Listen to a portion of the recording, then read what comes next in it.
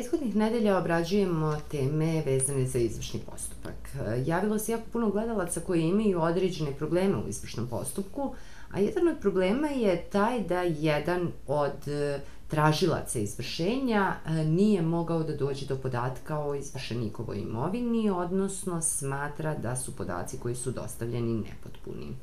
Ja sam došla do advokatice Smiljane Moravac-Babić da vidimo o čemu se konkretno može raditi u navedenom slučaju i šta je ono što tražilac izvršenja može da uradi.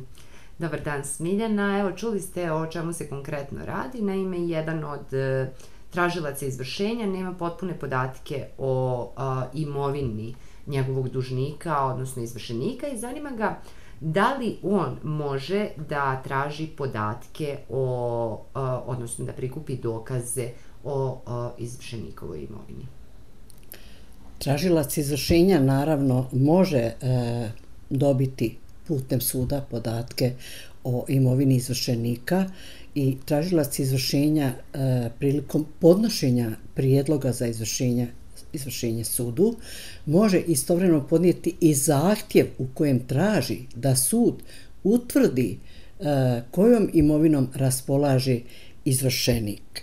E, prije dakle donošenja samog rješenja o izvršenju, ali ga to ne sprečava da učini i kasnije tokom postupka jednom ili više puta, e, e, odnosno svaki put kada sredstvo izvršenja ne bude izvršenje provedeno na sredstvo izvršenja, znači tražac izvršenja može zahtijevati E, iznova utvrđivanje dužnikove e, imovine. E, sud kad dobije takav zahtjev dužan je da naloži izvršeniku ili drugom fizičkom licu ili pravnom licu ili organu, organizaciji, dakle svakom onom ko ima podatke o imovini dužnika i naložiti da e, dostavi dostavi znači podatke o imovini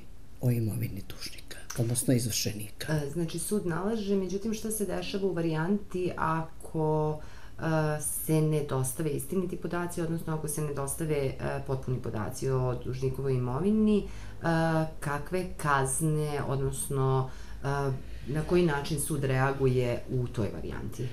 E, prije svega, ministar pravde e, Republike Srpske dužan je da sačini obrazac i taj obrazac sadrži e, sve rubrike koje treba da popuni svako od tih nabrojanih lica, znači izvršenik ili neko drugo fizičko lice ili odgovorno lice, pravno lice, svi oni, sva ona lica koja su zakonom pobrojana, taj obrazac da popuni i dostavi sudu E, potpune i istinite mhm. podatke, inače mogu krivično odgovarati, odnosno krivično su odgovorni ako to ne učini. Tako da, recimo, sud može da e, zatraži podatke e, od banke o novčanom depozitu izvršenika, može da zatraži od izvršenikovog poslodavca kolika su novčana primanja, e, da li ih ima i kolika su ona, dakle, izvršenik e, od fonda PIO,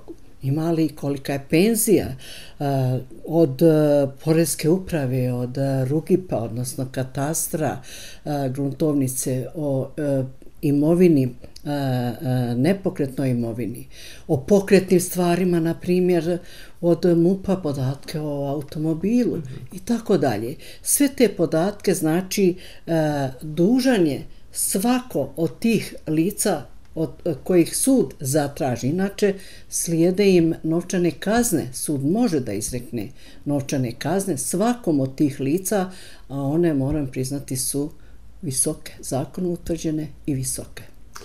S tim da, ako sam dobro razumjela, svaka od te imovine mora da ima dokaz u određenoj instituciji da ta imovina pripada tom licu. Ne može sada neko doći i reći ja sumnjam da je ta imovina od toga, znači Naravno. mora postojati dokaz. Naravno, tiče se određenog lica, to lice mora biti identifikovano, znači nije to bilo koje lice, to je lice izvršenik, potpuni podaci se od njemu dostavljaju i tu ne smije zaista biti greške.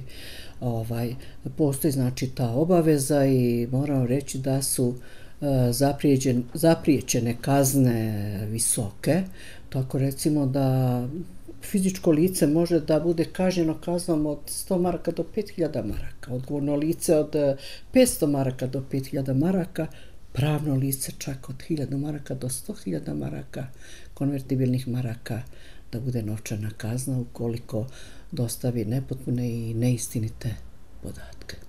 Hvala vam puno na ovim informacijama. Evo, čuli ste ukoliko se pokreće izvršni postupak nad dužnikovom imovinom, Eh, i onaj koji je tražilac izvršenja može da se traži da se utvrdi sva imovina koju dužnik posjeduje, a moraju biti pravi podaci, jer ako neko ne dostavi potpune podatke, može i novčano da odgovara.